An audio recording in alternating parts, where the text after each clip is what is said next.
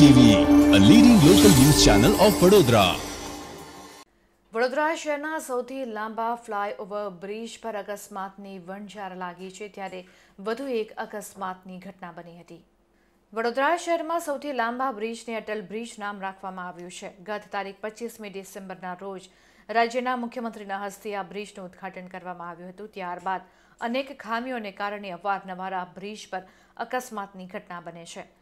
તેવામાં વધુ એક અકસ્માતની ઘટના બની હતી. કાર ચાલકે સ્ટેરિંગ પરથી કાબુ ગુમાવતા કાર ડિવાઈડર સાથે ભટકાતા અકસ્માત થયો હતો.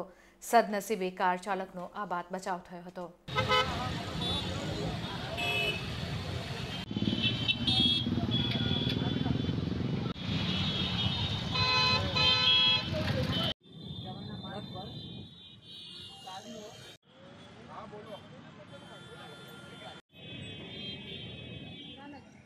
Gracias.